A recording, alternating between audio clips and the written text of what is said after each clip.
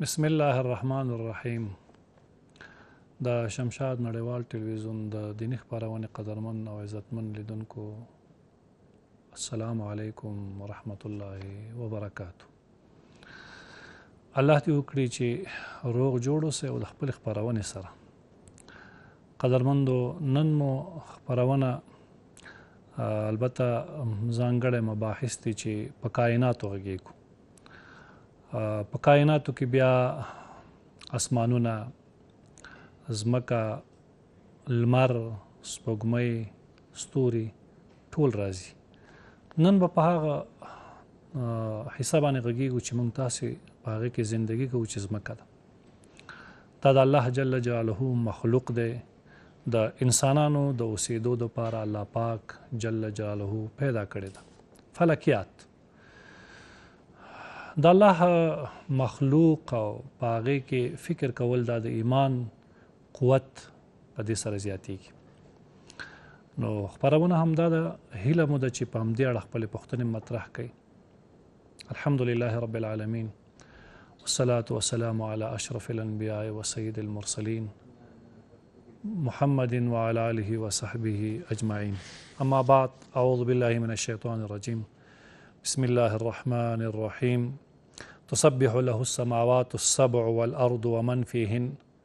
وإن من شيء إلا يسبح بحمده ولكن لا تفقهون تسبيحه الله پاک په دې مقدس کتاب په دې آیه مبارکه کې فرمایي چې تسبح له السماوات والسب و اسمانون الله پاک ته تسبیح وای سبحان الله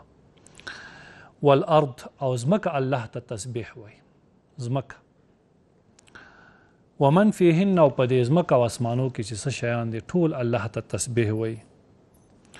ځکه و ام من شيء الا يسبح بحمده هیڅ شی نشته مګر هغه ټول الله ته تسبیح وایي ولکن لا تفقهون تسبیحهم تاسو د هغه په تسبیح باندې نه پوهیږئ اوس چې اسمانونه زمکه ستوري سپوږمۍ لمر هر څه الله ته تسبیح وای راځي وګورو چې د ازمکه څنګه مخلوق دی الله جل جلاله د کم شي د پاره پیدا کړی او حالات څنګه دی آیا ازمکه په خپل ځای ده حرکتونه لري نه لري په دې اړه باندې به د قران کریم آیاتونو ته ورځو چې په دې باندې هم وپوهیږو چې د جغرافي علم د هندسي علم د ساينس کیمیا ټول په دې قران کریم کې الله پاک بیان کړی دی نو هر عالم چې د دینه کم اخص کړي دی یو کتاب لیکلی دی په یو علم باندې په یو نوم باندې بیا هغه مسما شوی دی نو فلکیات اکثرا د جغرافي نه بحث وي په دې پیګو چې قران کریم هم دا حصہ ډیره زیاته مفصله بیان کړې ده لمړی دا چې قران کریم کې د ځمکې ذکر 351 کرته راغلی دی معلومه ده چې دا یو ډیر اهم مخلوق دی موږ د دې نه باید غافل نه اوسو چې ځمکه یعنی ارض په عربي کې ورته ارض وایي دا چې قران کریم کې ټول ذکر د دې راغلی نو تقریبا 300 یو پنځوس کرته دی په دې څلور سوه یو پنځوس کرته چې ذکر دی نو په یو ځای کې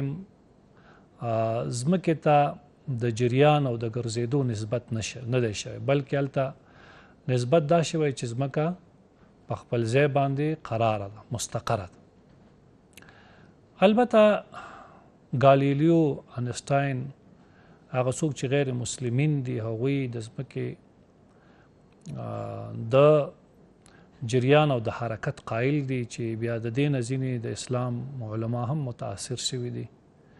او در حال چې دا موضوع کاملا د قران کریم پورې تعلق لري الله پاک جل جلاله د ځمکې پیدایش کې دې ته سجده هم نه د نسبت کړي چې دا سجده کوي مثلا ځمکه ځمکه سجده کول هم په حرکت سره راځي او په دې څلور سوا یو پنځوس کرته چې ذکر دی یو ځای کې د حرکت نسبت ورته نه ده شوی او المر تقریبا دو دیش کرته ذکر دی او دوه ځای چې اذا الشمس کویرت چې د المر انتها ده دا ذکر د نور دیرش کرت چې کوم ځای کې ذکر دی هلته ورته د حرکت نسبت شوی دی نو المر حرکت لري او ځمکه حرکت نه لري دې لپاره قران کریم خپل دلایل ذکر کوي درنګي قران کریم بیان کوي چې زمکه قرار ده په خپل ځای باندې قرار ده او حرکت نه لري الله فرمایي چې الله الذي جعل لكم الارض قرارا والسماء بناء سوره غافر ده څلوش پیتم نمبر آیات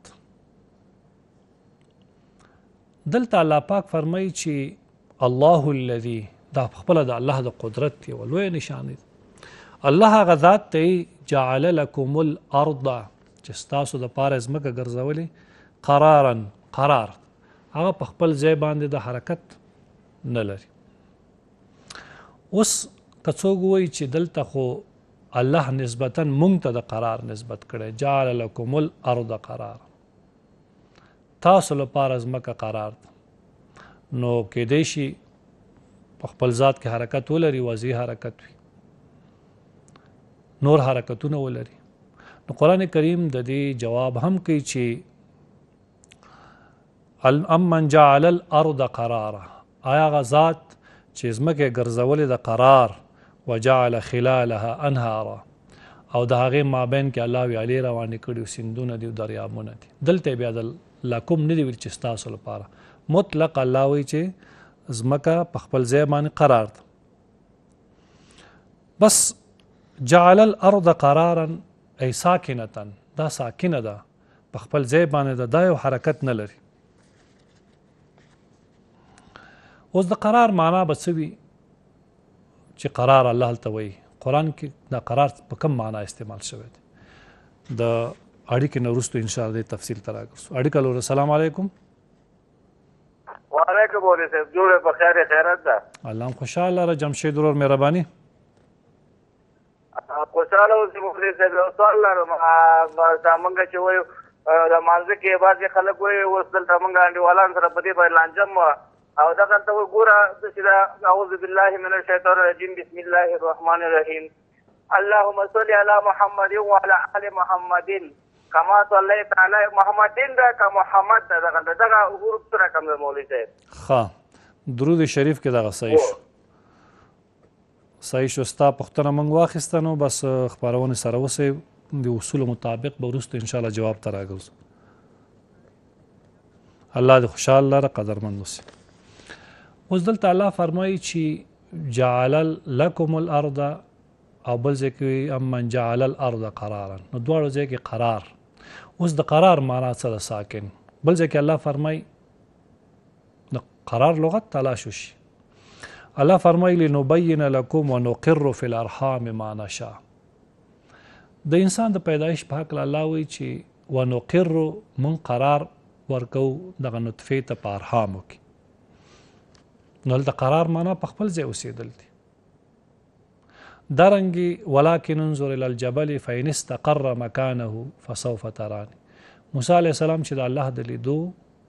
خواهش وکړو الله ورته وایي چې غره ته وګوره فاین استقر کله قرار اومن ته په خپل ځای باندې نو ته بیا مالی دلش نو قرار دلته په معنا د سکون دی یعنی په خپل ځای کې ساکن پاتې شو درنګي الله جل جلاله د قران کریم په متعدد آیاتونو کې د قرار معنا همدا کړي چې په خپل ځای باندې سکون ته وای نو دلته هم د قرار معنا همدا ده چې زمکه په خپل ځای ساکنه ده و میلیارد انسانان دلته زندگی کوي هیڅ چا تر اوسه دا احساس نه دی کړی چې زمکه د حرکت کوي د دې په خلاف په راتلونکو بحثونو کې په دې هم غږیږي چې لمر حرکت لري او د غیر لپاره تقریبا تر ډیر شو پورې دلایل قران کریم ذکر کړی دی یعنی آیتونه چې الته نسبت شوی دی ورته دا صرف یو خیالي خبره ده چې دا مونږ په خیال کې د سرازي چې زمکه ساکنه در حقیقت دا ګرځي او د هغه د پاره د کشته کې د سورېدو مثال چې کشته کې سورې او ستا کشته روانه ده او تا ته هغه دې خوا خوا ته دې خوا ته دا ځنګلونه او کلي دا داسې ښکاري چې دا روان دي تر حاله چې ته روان نو زموږ کې ته اوسېږي دا د کشتۍ مثال لري داسې یو خیالي فکر دی لپاره د قران او د حدیث نه هیڅ دلایل نشته قران کریم کې ټول دلایل د دې دي چې زمکه په خپل ځای باندې نه د مستقره ولې بل بالکل قران کریم په همدې قائل دی چې ځمکه په خپل ځای مستقر ده متاسفانه چې معاصر جغرافیا په دې قائل ده چې هغه ګرځي نو اوس په دې حالت ګور قران کریم د دې متعدد آیاتونو کې د ځمکې د اودریدو بیان کوي بل ځکه الله پاک فرمایي چې والارض وضعها للانام الله پاک د ازمکه د خلکو د پاره وضع کړی ده نو وضع اخودل ته وي مکان کې وضع والارض وضعها دا وضع کې خودل ته وي په وځای کې مستقر ته وي سکون ته وي ځکه بل ځکه الله چې د وضع واو ضاد او عین کم اصطلاح الله پاک قران کریم کې کارولې ده حتا تضع الحرب اوزارها چې تاسو کې دی یا دا جنگ ختم شي یعنی سکون شي ساکن شي نو د وضعها معنا په قران کریم کې د سکون په معنا راغله آرام کېدل ته چې هغه نور حرکتونه ځکه بل ځکه قران کریم کې الله فرمایي چې ولا جناح علیکم ان کان بكم اذن من مطر او كنتم مرضى ان تدعوا اسلحتكم که چیرته تاسو ته باران یا مریضي څه مشکل وي تاسو خپل سلاګانې کې دی وضع کې خودل ته وي نو وضع سره سکون لازم وي همدارنګه الله بل ځای کې وایي چې وحين تدعون ثيابكم من الظهيره کله چې تاسو خپل جامې کې دی د خوب د پاره او تاسو د غرمې خوب کوي نو تدعون دلته وضع راغلی ده دلته یې خودل معنا دي نو دا د وضع نسبت چې قران کریم کې زمکه ته شوی ده هر ځای کې چې د وضع لغت په قران کریم کې تلاش وسی هلته به د سکون په معنا باندې وي نو ځمکه په خپل ځای باندې ساکنه ده دارنګه وندع موازین القسط لیوم القیامه بل ځکه الله موږ به کیدو وندع کیبدو موازین القسط ترازو د انصاف ال توزع په معنا د ساکن په یو ځای کې مستقر او قرار ته وي داسې متعدد آیاتونو کې د وضع لغت همدا دی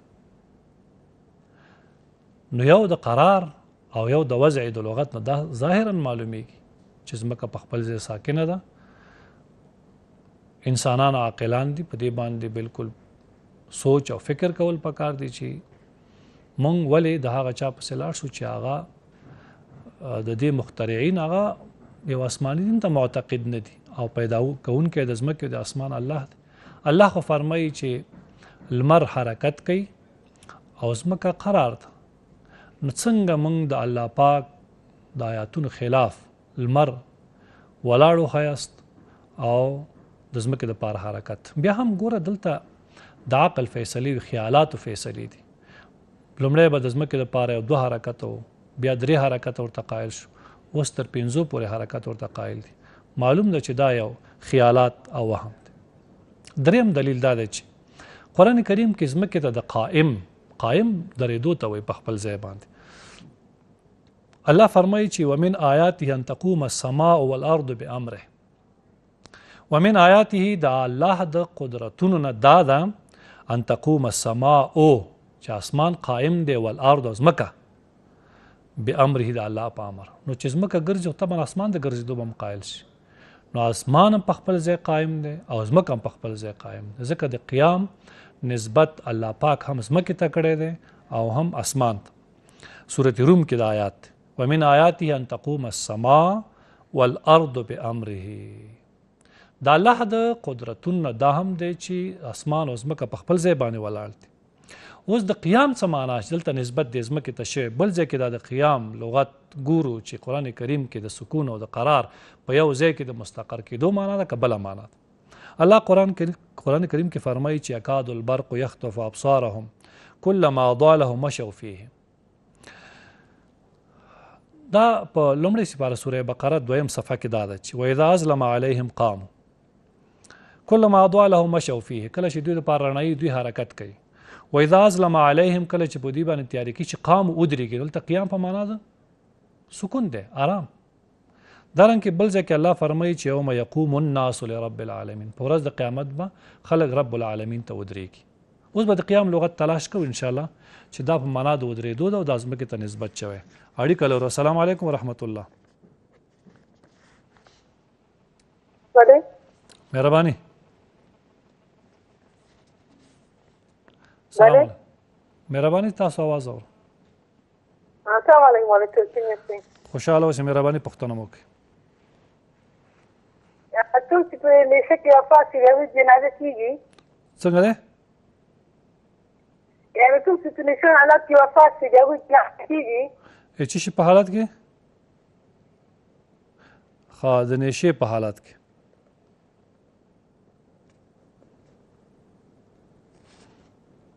ستاسو پوښتنه موږ واخیسته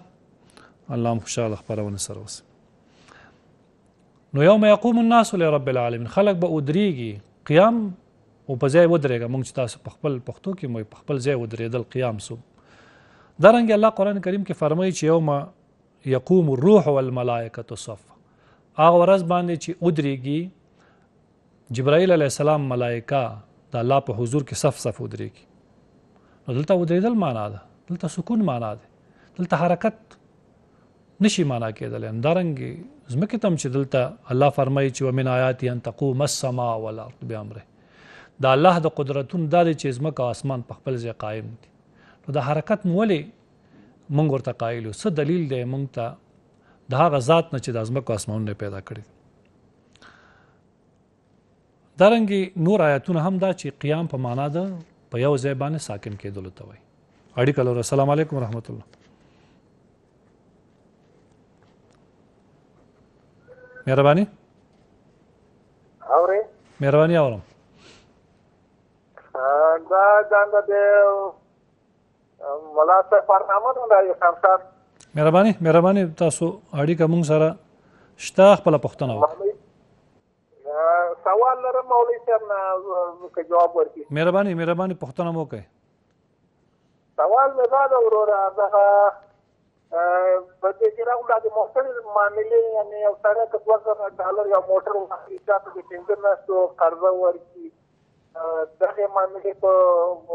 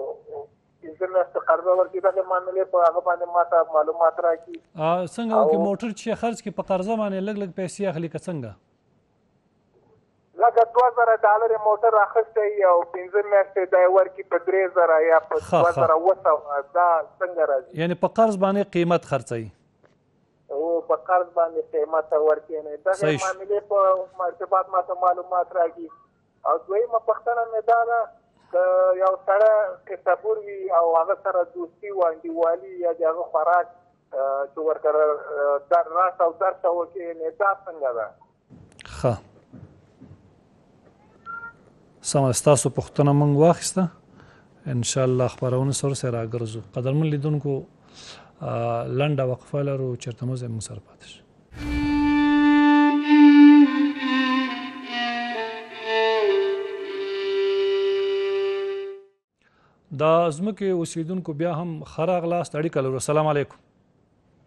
وعلیکم السلام ولکه محترم څنګه جوړې قدرمن صلی الله خوشاله مهرباني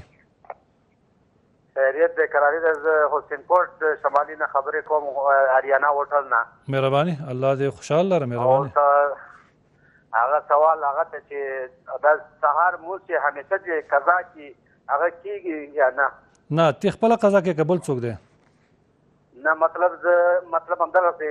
مونږ خلک دي مطلب چې همیشه قضا موږ کوي هغه کېږي یا یو ورځ نه دوه ورځ نه درې همیشه چې قضا کېږي بس تا پوښتنه مونږ واخیسته بس الله یې دا هوټل کار روان که خوشاله اوسي خپرونه سره اوس ان شاء الله جواب ته راګرځو دارنګي قرار الله او د قیام دا نسبتونه چې قران کریم کې راغلي ټول ساکن معنا ده په خپل ځای باندې سکون ده بل ځکه الله فرمایي چې یوم یقوم الروح والملائکه صفا مثلا چې ملائک او جبرائیل علی السلام به د الله په حضور کې قیام کې ودرېږي به نو دلته قیام سره بیا حرکت نشته دارنګ الله فرمایي چې فوجد فيها جدارا يريد ان ينقض فاقامه خضر او موسی علیهم السلام چې پالار روانو نږدې چې دیوال را وغورځېږي فاقامه هغه یې ودراو نو چې قیام راغی نو بیا دیوال خوځېده را خوځېده خو دیوال په خپل ځای قایم شو نو تعجب دی نو چې قیام نسبت ځمکې ته راغلی خو په خپل ځای باندې ولاړه ده دا رنګ بل ځکه الله فرمایي چې فنادته الملائکه وقائم يصلي في المحراب عمران سوره ال عمران کې الله پاک ذکر کوي چې فنادته الملائکه هو قائم يصلي في المحراب الله چې ورته आवाज وک زکریا علی السلام ته ولاړو مونږ کو په محراب کې نو قائم چې سړی مانځ باندې ولاړ نو هغه ګرځي را ګرځي حرکت کوي او بل ځکه الله فرمایي چې الذين يذكرون الله قياما وقعودا وعلى جنوبهم هغه خلک چې الله یادې قیامن په ولاړه باندې نو قیام ولاړه قعود ناسته دا خو مشهور اصطلاحګانې دي بل ځکه الله فرمایي چې وقفوهم انهم مسئولون دا مجرمین ودروي وقفوهم ودروي او قف په معنا د ودرېدلو نو کله چې زمکه ته دا نسبت شوی نو زمکه په خپل ځبانه ولاړه ده اړي کله السلام علیکم ورحمت الله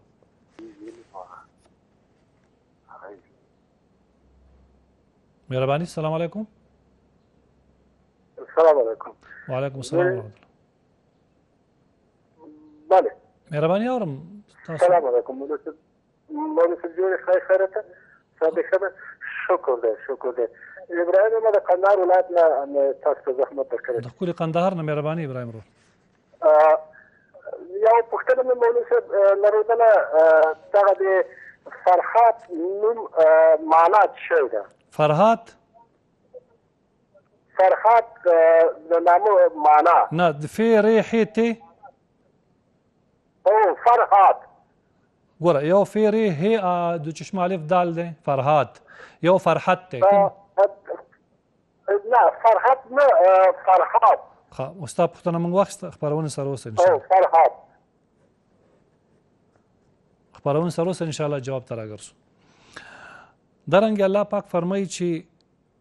ولو ترا اذ وقفوا على ربهم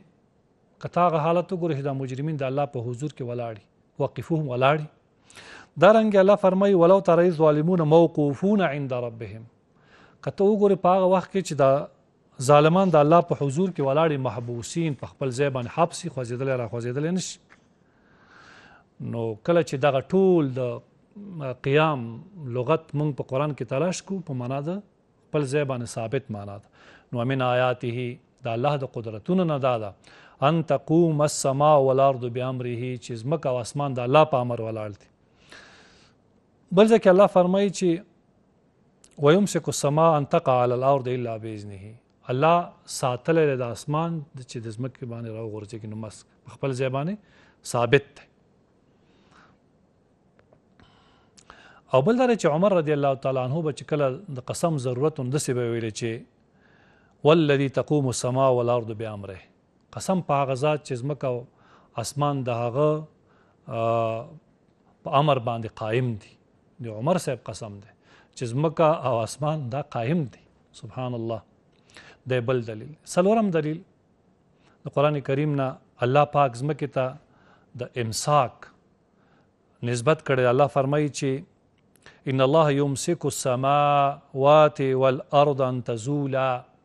الله زمکه او اسمانونه ساتي چې زائل شي د خپل ځای نه ولئن زالتا که خپل ځای نه زائل شول نو ان امسکهما من احد من بعده انه كان حلیما غفورا سوره فاطر کې الله دا فرمایي بل ځکه الله فرمایي چې ان الله یمسک السماوات والارض ان تزولا الله ځمکه او اسمانونه دا په خپل ځای باندې ساتلي دي چې د خپل ځای نه وخوځېږي ابو یعلا ابن جریر ابن ابي حاتم دار قطنی ابن مردویا بیهقی په اسماء او صفات کې خطیب په خپل تاریخ کې ابو هريره رضی الله تعالی عنہ روایت قال سمعت رسول الله يقول على المنبر رسول الله صلی الله علیه وسلم منبر باندې ناست یو ځل وی چې د موسی علی السلام په زړه کې دا راغلی و چې الله باندې خوب راځي که نه نو الله پاک جل جلاله یو ملک راولېږه نو د سره یو ملک سره قارورې وي یعنی دا معنا چې پیالې وي د شیشې نو دا وساتي د ملک ته دا امر وکړه د ملک دا وساتي نو همغه و چې کله چې ملک باندې خوب راځي نو طبعا هغه قاروره ته نه ګلاس ته نه غورځيږي او دا ته نه ماتيږي دا یو مثال موسی علی السلام تعالی خو د چې الله باندې خوب نه راځي زمکه د ازمکه او اسمان الله ساتلی په خپل حال باندې دلته همدارنګ ابو حاتم د عبد الله ابن سلام نو موسی علی السلام قال جبريل هل ينام ربه دا حدیث په متعدد روایتونو راغلی دی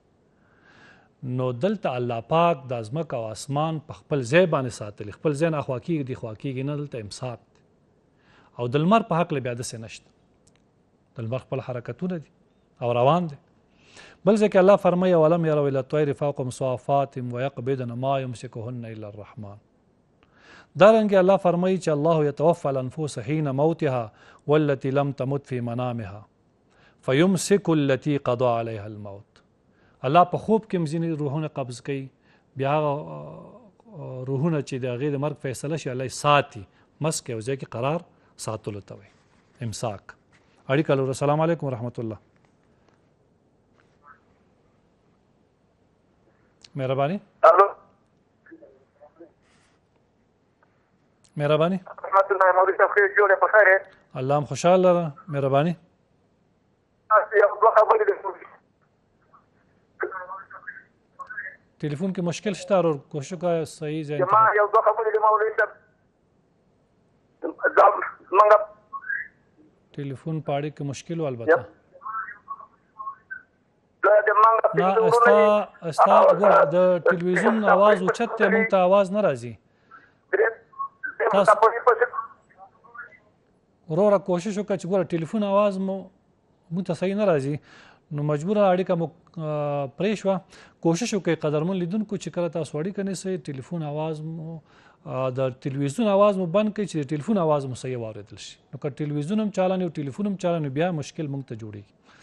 نو وخت هم ځای کیږي درنګ الله پاک جل جلاله فرمایي چې دا ويمسك السماء ان تقع على الارض الا باذنه الله دا اسمان په خپل ځای ساتلې ده چې دا پزما کراونه غورځيږي نو مسک امساک دا په خپل ځای باندې محکم کېدلو ثبوت ته وایي دا الله پاک جل جلاله د دې بیان کوي چې زمکا په خپل ځای قرار لري او اسمان په خپل ځای نه اسمان حرکت لري او نه ځمکه بل دلیل دا دی چې په مابین د اسمان او ځمکه کې چې کوم مسافه ده ځمکه په خپل ځای د اسمان په خپل ځای نه ځمکه ته کوم حرکت موجود نه اسمان د دې په منځ کې چې کوم مخلوقات دي الله د دوی ذکر کوي وسخر لكم الليل والنهار والشمس والقمر والنجوم مسخرات بأمره وسخر لکم الشمس والقمر دائبين وسخر لکم اللیل والنهار وسخر الشمس والقمر كل يجري لاجل مسمى سپوږمۍ او لمر ته د جریان نسبتونه دي نو د دینه معلومیږي چې زمکه د اسمان په مقابل کې د دواړه چې اسمان ساکن دی دارنګي زمکه هم ساکنه ده او دا ډیر نسبت شوی دی د ممابین د زمکه اسمان کې چې کوم مخلوقات اوسیږي چې دا لمر دی او مثلا سپوږمۍ دا ستوري دا ټول اړیکه لور السلام علیکم ورحمت الله مهرباني متاسفانه البته اړیکه پرې شو او دارنګ الله پاک د غرونو په حق لباندې وایي چې دا غرونه د دې لپاره په ځمکه باندې راوستل چې ځمکه د حرکت نه پریوځي په خپل ځای باندې قرار ولري داسې متعدد پشمار آیاتونه دي چې هغه مونږ ته دا را پګوته کوي چې زمکه په خپل ځای باندې ولاړ ده دا مونږ تاسو په سترګو باندې هم ګورو دا رنګې د احادیثو نه هم روایتونه شته دا د کعبه په برابر باندې په اسمان کې یو بل کوټه ده دې ته سړی ښه سوچ وکړي هغه ته بیت المعمور وای رسول الله صلی الله علیه وسلم د هغه په حق لباندې وای چې هغه د کعبه په موازی باندې برابر دی د حدیث به ذکر کو امام تبرانی رحمه الله او ابن عباس رسول الله صلی الله علیه وسلم قال رسول الله فرمایي چې البيت المعمور في السماء يقال له ضراح د هغه بل نوم ضراح هم دی على مثل بيت الحرام دا د کعبه په شکل دی بحياله د د په برابر کې دی لو سقط لسقط عليه فرض کړه چې دا بیت المعمور را پریوزي نو په کعبه به را پریوزي کعبه په ځمکه کې دا بیت المعمور اسمان کې بیت المعمور داسې برابر موازی ده د د کعبه ده کچیر تر پریوزی دا د پیغمبر خبره ده علیه السلام لو سقط لا سقط علیه کچیر تر اورځيږي نو مستقیما به په همدې کعبه را غورځيږي يدخل كل يوم سبعون الف ملک هره ورځ اویا زره ملائک هلته طواف کوي ثم لا يرونه قط بیا هغه ته نوبت هم نه راځي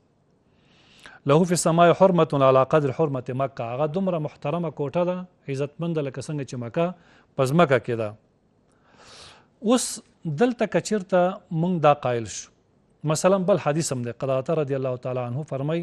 چې ځکه الله نه رسول الله صلی الله علیه وسلم قال یوما لاصحابه موږ ته دا قصه ذکر شوې ده ذکر لنا ان رسول الله صلی الله علیه وسلم قال یوما لاصحابه یو ورځ پیغمبر صلی خپل صحابه ته وایي چې تدرون مل بیت المعمور بیت المعمور چې تاسو پوهیږئ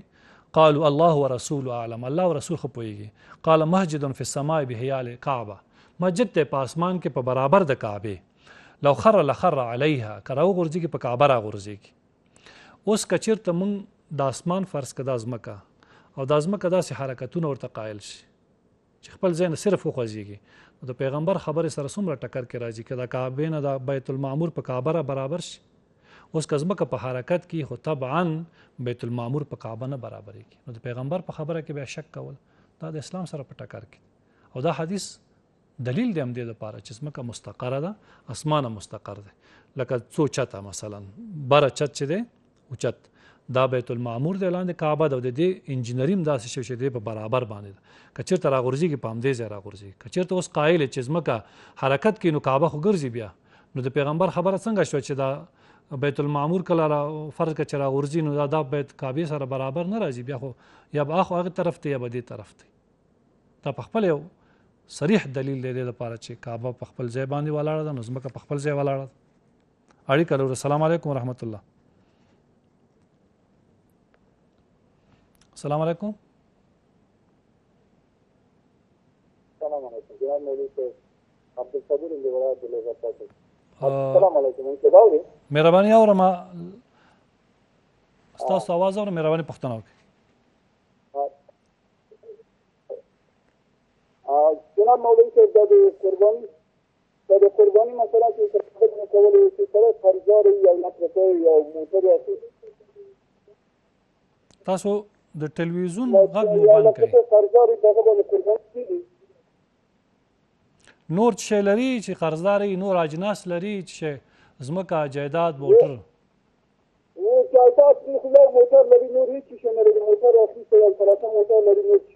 او قرض څومره دی مثلا د سراچې موټر نه قرض زیات دی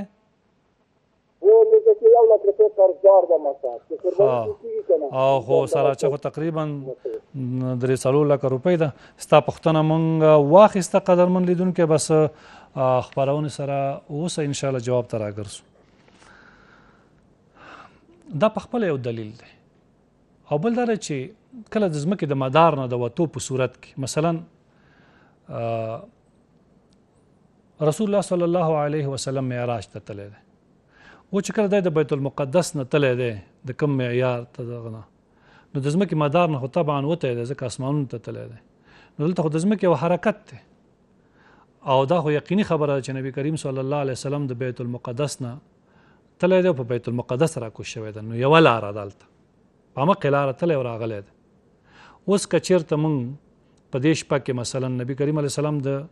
بیت المقدس د موازي نه دی تللی دی دا خو ګرځي نو بیرته راتګ بیا بیت المقدس باندې نه را جوړېده یا به دا وي چې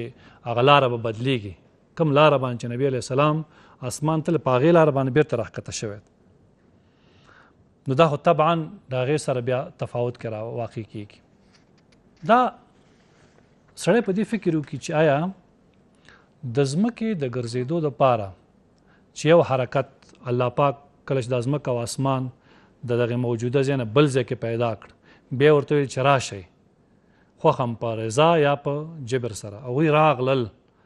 قالات قالات اتینا طائعين موږ په خپل فرمان استا په فرمان په رضایت په خپل رضایت سره راغلو دغه یو حرکت چې غیزه نه اصل پیدایش چې د کم ځای کې شوی د غینه غیر چې دی اوس مستقر شوی دین غیر بل ځای کې ازمکه اسمانون ته د اتیان د تاک د جریان نسبت موجود نه دی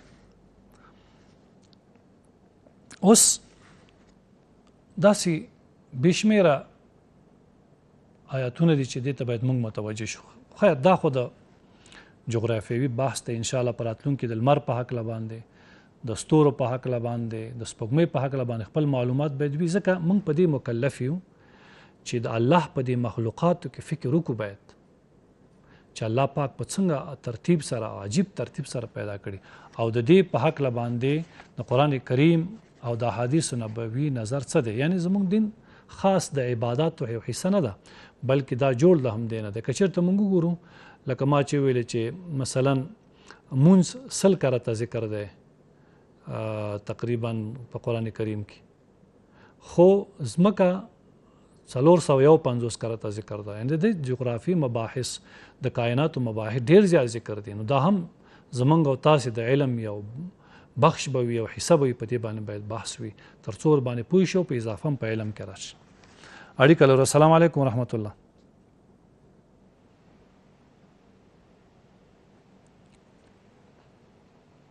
مهرباني سلام علیکم وعلیکم السلام ورحمت الله مولوی صاحب زما دا پوښتنه وه دا لکه څوک چې تم ساجد لمونځ کوي او وتر واجب ماسخوتن کوي دا څنګه کیږي ښه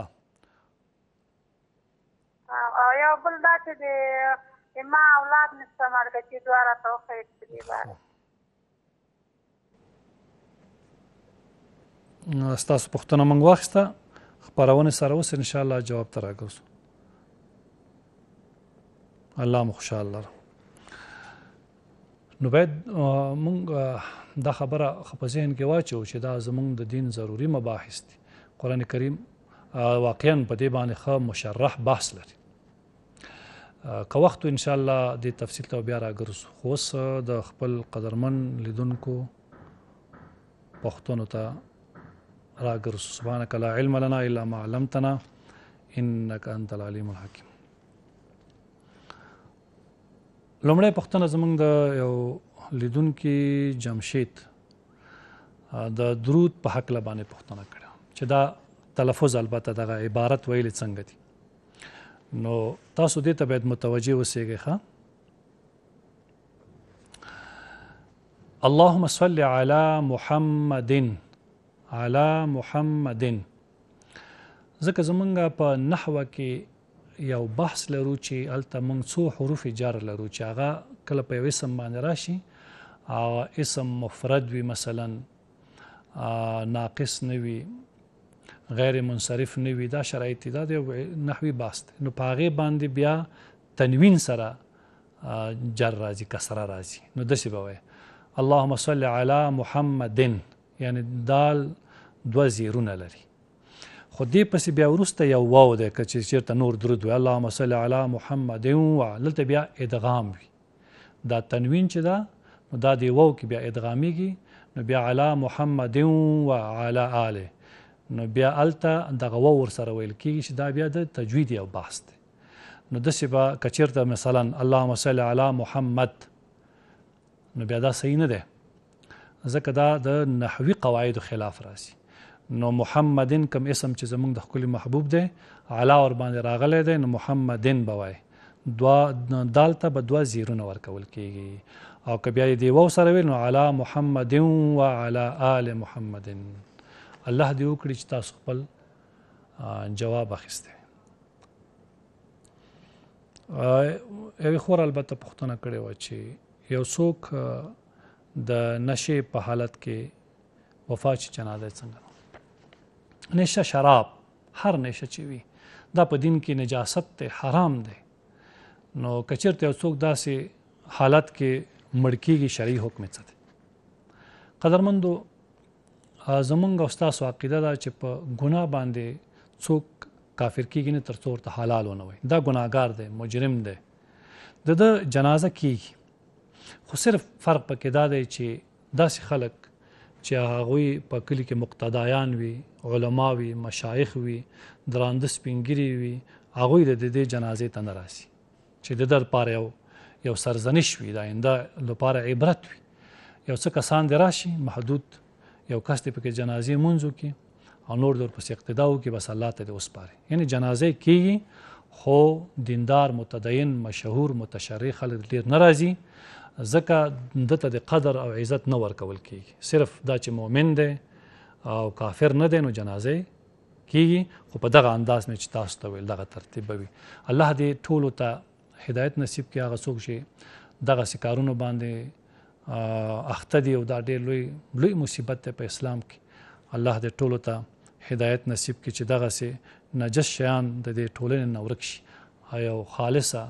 صفا سوتره اسلامي ټولنه وي یو اورور پښتنه کړي و چې قیمت په قرض باندې او شی قیمت اخیستل او په نقد باندې ارزان زمونږ کتابونو کې فقهي کتابونو کې د سیو مسله لیکل ده مثلا یو څوک راځي تا نه یو مال اخلي او مثلا ته وایي چې په نقد باندې مثلا دا نه اخلم نو تور سره نقد فیصله کوي چې دا په یو لک روپۍ ده بس خبر خلاص شو یو کس راځي درته وایي چې دغه مال درنه اخلم خو پیسې را سره نشته په قرض تور ته یو نیم لک روپۍ در باندې خرڅوم دې کې شرعي مشکل نشته چې په نقد باندې ارزانه او په قرض باندې قیمت شریعت دې سره کوم مشکل نه لري دا جایز دی صرف دومره خبره ده چې اعلان مثلا یو څوک ناست دی او بازار یې ګرم کړی دی او وایي چې مثلا لس لس روپۍ لس لس روپۍ او شی یا سل سل روپۍ خو دې سره یو ځای وایي چې په قرضو باندې په یو نیم سل روپۍ په نغدو سل روپۍ دغه سي اعلانول هغه بازار ګرمول دغه د کراهیت په مرتبه کې علماو ذکر کړي جواز او نه جواز نه جواز لري خو دا ښه کار نه دی چې داسې څوک اعلان نه کوي غیر د هغې نه مثلا دا خو طبیعي خبره ده څوک چې نقد پیسې درکوي او څوک قرض اخلي دې پیسو کې خو طبعا فرق شته ستا کاروبار به وي نو دې سره کار فلجېږي نو طبعا یو شی قیمت خرڅېږي مشکل ور باندې شرعي نشته نو اوس که څوک یو موټر مثلا نقده موټر هغه ارزي په یو لک روپۍ باندې او په قیمت او په قرض باندې په نیم لکه اخلي یو لکه شل زره اخلي یو لکه لزره شرعي مشکل ورته نشته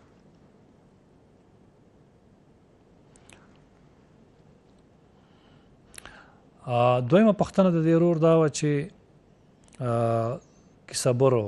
غالو داش قدرمند موږ مسلمانان الحمدلله او سم الحمدلله زموږ دین خپل دین دی د هر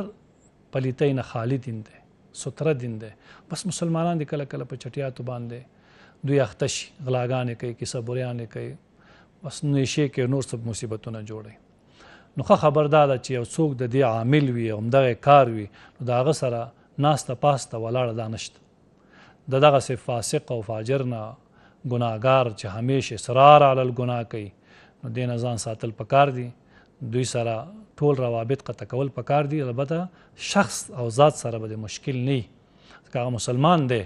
د تابد مشکل د د عمل او د فعل سره وي هر کله چې دا کار پرې خو ده ته ور سره بالکل بیرته اړیکې جوړه ځکه تاسو د شخص سره احمد محمود بکر خالد د سره ستا مشکل نشته ستا او ورته هغه عمل بد راته نو اصول زمونږ په دین کې دادي چې یو څوک په ګناه اخته او ته به دغه شخص سره کینه او حسد نه ساتي ته به دغه عمل بد غني نو هر عمل چې وي ته هغه هغه عمل چې کلم پرې خو ده ستا بیرته مغه سي اسلامي او صمیمي رور دی به جوړ شي نو بیا دې الله ثواب امر کوي او کچیرته یو څوک شخصي چا سره مشکل لري نو بیا غام د ده ته بیا هغه په هغه کار باندې ثواب هم الله نه ورکوي نو دغسې څوک چې کیسه بوري کوي یا نور څه ګناهونه کوي همیشه کوي دوامدار همدی عملي همدی خپل کار جوړ کړي همده ته کار ویلی نو هغه سره راشه درس او کېناستل بیا صحیح نه دي ځکه دا اثر کوي صحبت صالح ترا صالح کند صحبت طالح ترا طالح کند طبعا هغه بد خلکو سره ناسته دا بیا ډیر منفي اثرات لري ځکه یار بد بد بود از مار بد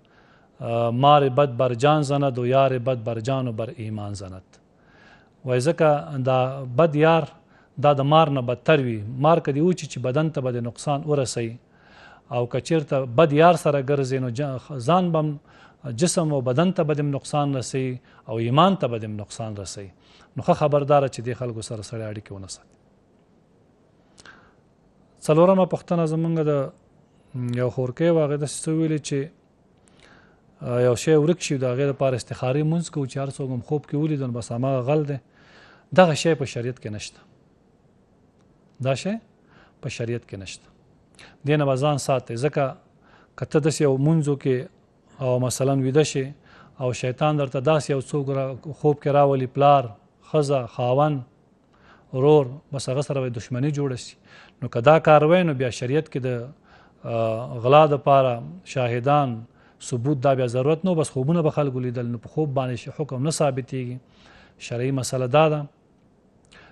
چې په خوب باندې احکام نشي ثابتېدلی خوب ثبوت نه دی که خدای نه خواسته څوک دا کار وکړي او هلته داسې خلک وګوري شیطان دی که نه داسې څوک درته خوب کې راولي چې هغه به متشرع دیندار سړی بس هغه باندې تاسو بدګمانه نو دا غلطه خبره ده بالکل دا صحیح خبره نه تاسو به هدایت دعاګانې ورته کوئ چا هر چا دا غلا کړ الله ته هدایت وکړي الله دې ما مخکې ویل چې دا بد عمل دی دا د چا لپاره کسب وکړي خصوصا په کورنۍ کې دا مشکلات نو دغه سي لارو نه چې غلور باندې پیدا کوي دا غلطه لار ده ما غلار چې شریعت خود لاغه سید یو بل ور پښتنه کړي و چې د سهار مونږ یو څوک همیشه قضا کوي مونږه بار بار دا ویلي ګوره چې مونږ د پاره اوس په عبادت کې صرف مونږ پاتې اوس که مون مون سره دا ټوکی شروع کړو دا به ډیر لوی مسؤلیت او د مانزه د قضا کېدو سره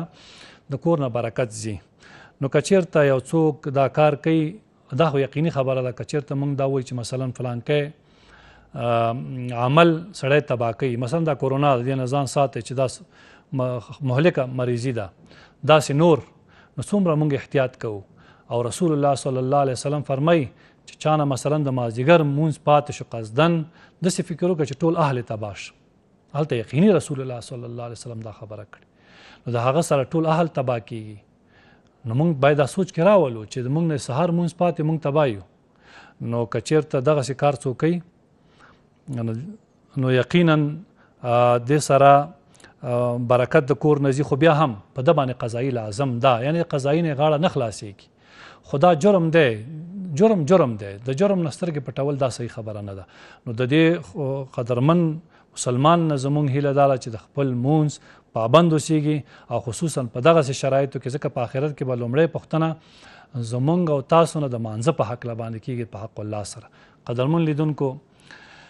دا چې د نننۍ خبرونې وخت هم دلته پای ته رسیږي د زینو پښتونکو پښتنې مونږ سره پاتې شوې وعده مو ده ان شاء الله که قید حیات کې او پراتلون کې به تاسو ته جوابو ان شاء الله العزیز الله مو خوشاله قدرمن لره دا چې بیا تاسو حضور ته حاضرې کو هر چیرته چې اس په الله مو سپارم سلام علیکم ورحمت الله وبرکاته له لیدلو مو مننه